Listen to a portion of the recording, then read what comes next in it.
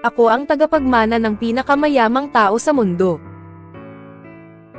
Kabanata 374 Hashtag hashtag hashtag Isang difficult pagpipilian ang katotohanan na Jonathan ay talagang makabuo ng tulad ng isang ideya upang gumawa ng Zola maging isang alt sila ay isang bagay na hindi kailanman inaasahan ng Cyrus. Kinakailangan niyang aminin na magiging hindi ka panipaniwala kung kaya niyang lupigin ng isang babae tulad ng Zola. Gayunpaman, ang problema ay ang Cyrus ay walang interes sa Zola sa lahat. Wala rin siyang plano na makipag-ugnayan sa kanya sa anumang paraan. Ang Cyrus ay nanatiling tahimik sa loob ng mahabang panahon, kaya nagpa siya si Salem na subukan na kumbansihin siya minsan pa sa pag-asa na babaguhin niya ang kanyang isip. Mr. De La Cruz, sapat na iyon. Mayroon akong damdamin para sa Gering, at wala akong interes sa iba pang mga kababaihan, nag-ambala siya ni Cyrus. Siya ay tumitig sa Jonathan habang pinaniniwalaan ko ang aking panig kahit na ibinigay niya kapanganakan sa aking bata. Sa halip, posible na mas napupuot niya ang me. Gusto kong mapahamak kung siya ay betrayed sa akin, Jonathan ay hindi sumuko kahit na ang Cyrus ay labis na sumasalungat sa kanyang panukala. Patuloy na sinubukan ni He ang opinyon ni Cyrus. Mr. De La Cruz, aminin ko na kahit na ang Zola ay nagbibigay ng kapanganakan sa iyong anak, maaaring hindi siya sa aming panig. Gayunpaman, ang pagbibigay ito ng isang pagbaril ay hindi makakasira sa atin, gagawin ba ito? Tanong ni Cyrus si Jonathan sa isang mababang boses, bakit mo sinasabi iyan? Sa pinakamaliit, masisiyahan ka ba sa paggugol ng oras sa gayong magandang babae, hindi mo ba? Kahit na ang Zola ay hindi tunay na maging isa sa atin sa hinaharap, hindi tayo magkakaroon ng pagkawala, sabi ni Jonathan sa isang hushed tone. Ang mga mata ni Cyrus ay lumawak. Siya ay lumalaki na walang pasensya sa Margot. Hinahanap ang tungkol relasyon sa pagitan ng Zola at ako. Siya snap. Ti walang intensyon ng pagdaraya sa kanya sa anumang paraan. Napagtatanto na ang Cyrus ay hinis, pinalaya ni Salem ang isang mahabang buntong hininga at iniwan ang kanyang ulo. Mr. De La Cruz, lumilitaw na hindi mo naisip ang iyong kasalukuyang sitwasyon, sabi niya sa mababang boses. Cyrus na huli off bantay sa pamamagitan ng kanyang mga remarks at nagtanong. Ano ang ibig mong sabihin sa pamamagitan ng na? Upang magsimula, ang mga taong mula sa Silverstone Financial Group ay hindi ang iyong kaaway sa ngayon. Pagkatapos ng lahat, wala silang intensyon na gumawa ng anumang bagay na hindi ka nais-nais sa iyo. Gayunpaman, sa sandaling na pagtanto nila na lumaki ka sa pakikitungo sa iyo.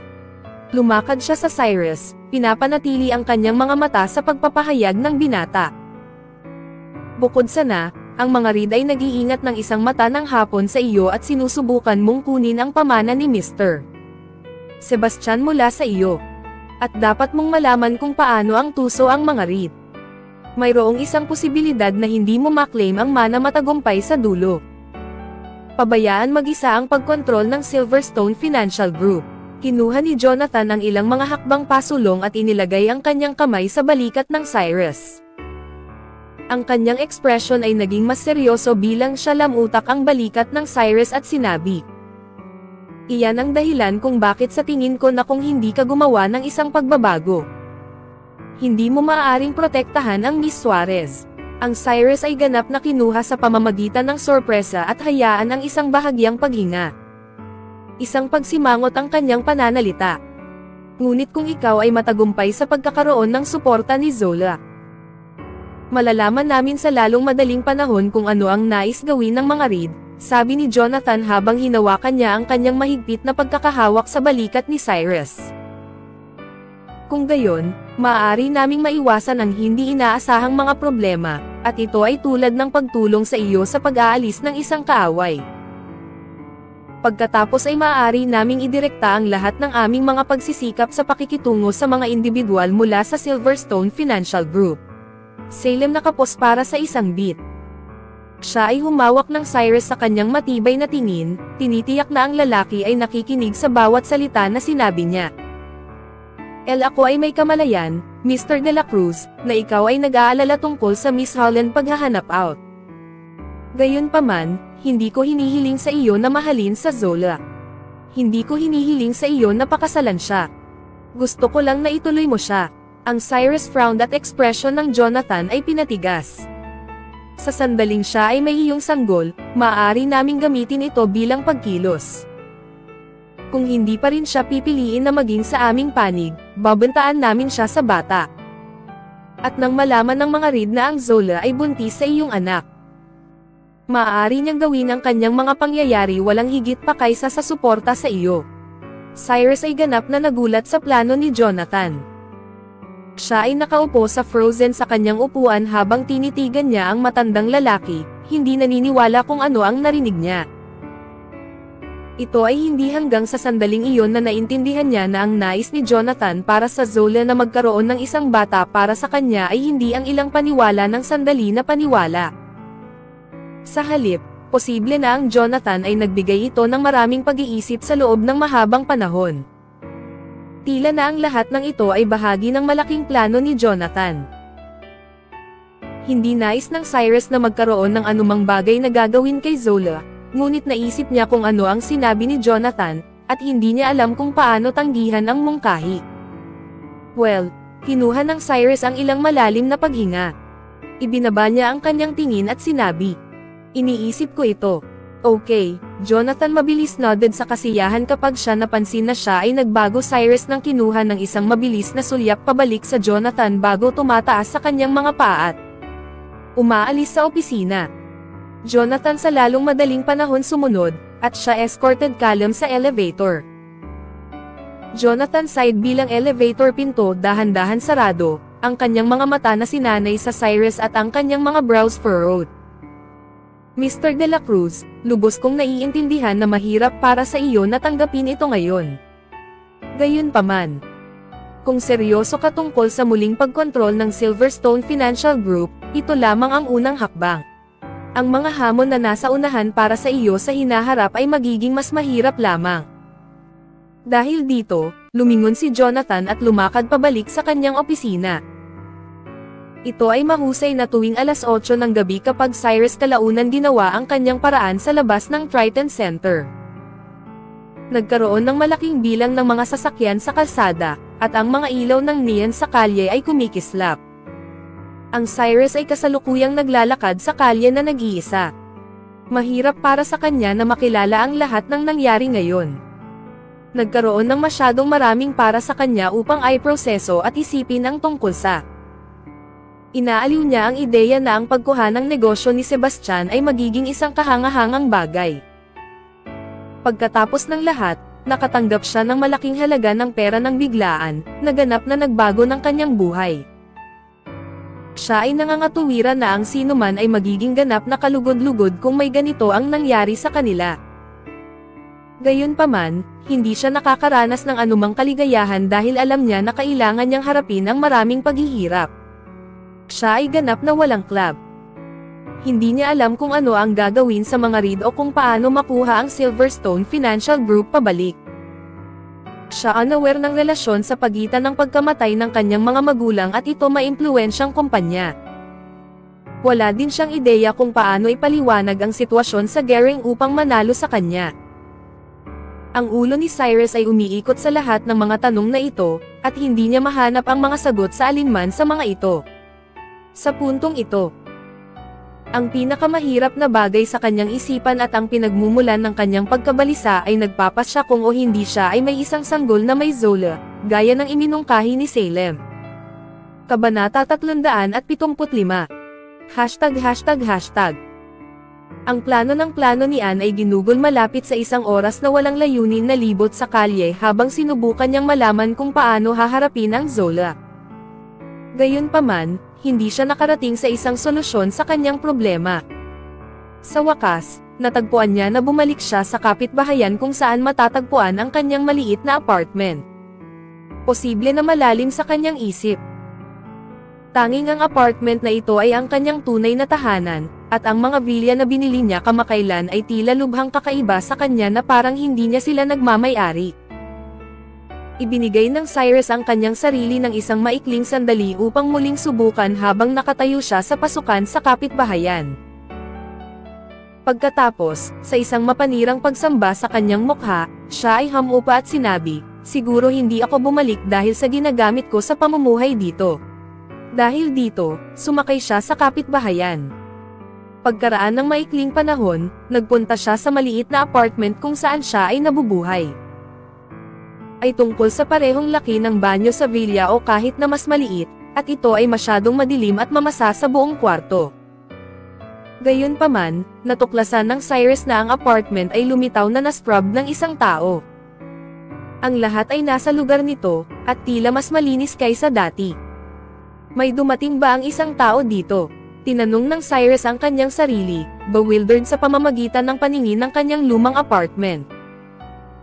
Pagkatapos ay iniwan niya ang kanyang ulo, ang lahat ng hindi kinakailangang mga saloobin sa kanyang isip at bumagsak sa kama. Sa puntong ito, siya ay ganap na pagod. Ang tanging bagay na nais niya ay manatili sa kama at makakuha ng pagtulog ng magandang gabi. Di nagtagal, nahulog siya sa isang malalim na pagkakatulog.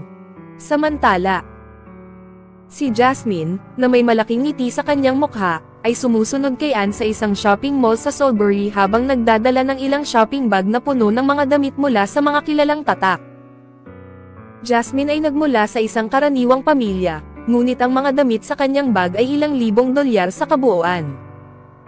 Nagpunta ito nang hindi sinasabi na hindi siya sumailalim sa bayarin para sa kanila. Sa halip, lahat sila ay mga regalo mula kay Anne. Si Ann ang tagapangasiwa ng front desk ng Triton Group na may buwa ng sweldo ng hindi bababa sa 10,000 dolyar. Ito ay maaaring tinansya na ang presyo ng mga damit ay katumbas ng sweldo ng isang buwan. Gayunpaman, sa sandaling ito, hindi siya mukhang mapataob o galit dahil may layunin siya sa pagbili ng mga damit na ito para kay Jasmine. Salamat sa pagbili ng napakaraming damit para sa akin, Ann. Ngunit, bakit ka maganda sa akin ngayon? Mayroon bang anumang bagay na matutulungan kita? Si Jasmine ay hindi isang dummy. Sa kabila ng katotohanan na si Ann ang kanyang pinsan at ang dalawa sa kanila ay nakarating na rin, makakakuha lamang siya ng isa o dalawang dresses mula kay Ann para sa mga espesyal na okasyon. Given na si Ann ay bumili ng napakaraming mga bagong outfits para sa kanya ngayon. Alam niya na gusto ni Ann ang kanyang tulong sa isang bagay, at ang mga ito ay gabi ang kanyang pagbabayad ay ang aking tanging pinsan. Hindi ba normal para sa akin na gamutin ka? Alam kong magkano ang gusto mo fashion ang ngumiti habang sinagot niya ang tanong ngunit binili mo ako ng maraming paraan sa kanila ngayon. Sinabi ni Jasmine na may labis na buntong hininga, lamang ngayon. Kaya sa palagay mo hindi ka bumili ng sapat na damit para sa iyo bago, hindi ba? Nagtanong si Ann, nagngingit mula sa tainga sa tainga. Hindi. Hindi. Hindi iyan ang ibig kong sabihin. Mabilis na pinaikot ni Jasmine ang kanyang kamay sa pakikinig ng mga salita ni Ann at nervously ipinaliwanag. Wala akong iba pang mga intensyon, Ann, just pakiramdam na pahiya ang pagkuha ng lahat ng mga damit na ito. Nagkakaroon sila ng masyadong maraming pera, gusto mo ba sila? Sila. Ngunit gumugol ka ng masyadong maraming pera, Ann. Bakit mo binili ako ng maraming damit? Kung hindi mo ito ginagawang malinaw, hindi ko matanggap ang mga ito, sinabi ni Jasmine, tinitingnan ang mga shopping bag sa kanyang kamay at pagkatapos ay bumalik sa Ann. Nakalikha si Ann upang tumingin sa Jasmine at tumugon sa isang malumanay na tono, dahil sinabi mo ito, Jasmine, I'll just cut sa paghabol. Dadahil talaga kailangan ko ng isang pabor mula sa iyo. Si Jasmine ay lumabas ng hininga ng kaluwagan matapos marinig iyon at nagtanong, kaya, kung ano ang eksaktong problema, An. Sabihin lang sa akin. Kung hindi, hindi ko gagawin ang mga damit na ito. Anbit kanyang labi, pag-aatubili Forrest sandali bago humihingi ng Jasmine sa isang hushed tono, Jasmine, ikaw at Mr. De La Cruz. Hindi. Paano ang iyong ang aking relasyon sa Cyrus? Si Jasmine ay kinuha ni Abak sa tanong ni Anne. Pagkatapos, na may isang pagsusulit sa kanyang mukha, pinindot niya ang kanyang mga labi at nagtanong, bakit mo hiniling ang tungkol sa kalam ng biglaan? Siya ay walang higit pa sa isang natalo. Sabihin mo lang sa akin kung pamilyar ka sa kanya, sabi ni Anne. Hindi pinapansin ang tanong ni Jasmine na naisip ni Jasmine tungkol dito para sa isang beat at pagkatapos ay sinabi. Well, upang sabihin sa iyo ang katotohanan, nakipag-usap lang ako o mag-scan ng ilang beses. Siya mga kaibigan ni Lucas Wagner, na sumunod sa akin sa paligid, ngunit hindi ako talagang pamilyar sa kanya. Sinabi sa iyo ni Asi, hindi ako interesado sa gapang iyon, si Lucas, ay nag-iisa lamang dahil sa inanyayahan ako. Hindi ko gusto mapahiya sila. Ibinigay ni Ann ito ng isang nag-isip na tumango at sinabi, Okay Jasmine ay naging mas nalulungkot sa pamamagitan ng kanyang reaksyon. Ano ang eksaktong kailangan mo ng tulong ko, Ann? Tinanong niya ang isang pagsimangot. At bakit mo ako tinanong tungkol sa Cyrus? Naayos ni Ann ang kanyang tingin sa Jasmine at naisip para sa isang hushed tone. Narito ang bagay walong inid ka upang tulungan akong humingi ng Cyrus out, ano? Gusto mong humingi ng Cyrus out? Bakit? Ang mga mata ni Jasmine ay lumakas ng napakalawak sa sorpresa, na tila sinabi sa isang bagay na hindi ka panipaniwala. Hindi niya inaasahan na marinig ang mga salitang iyon mula sa kanyang pinsan. Anne, dapat mong malaman na ang kalam ay wala pang isang nakalulungkot na natalo na kumikita ng kanyang pamumuhay sa pamamagitan ng pagpili ng mga bote sa paligid ng kolehiyo. Ano ang gusto mong itanong sa kanya? Tinanong ni Jasmine sa isang estado ng masindak na kawalang paniwala. Alam ko na siya ay isang walang kabuluhan na natalo.